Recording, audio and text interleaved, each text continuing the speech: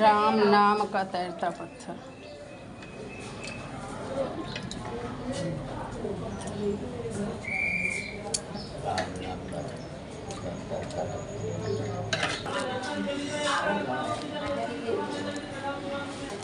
समय समय बलवान है, ना कोई पुरुष बलवान।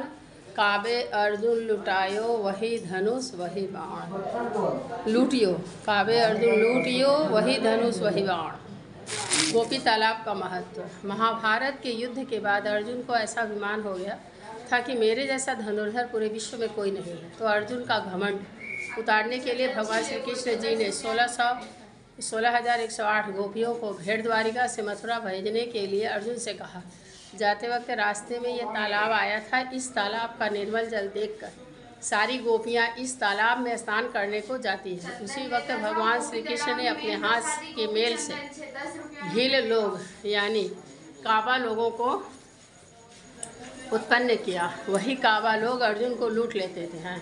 अर्जुन को लूटता देखकर सारी गोपियाँ इस तालाब में अपने प्राण निछावर करती हैं, इसलिए इस तालाब को गोपी तालाब कहते हैं और इसकी मिट्टी को गोपी चंदन कहते हैं।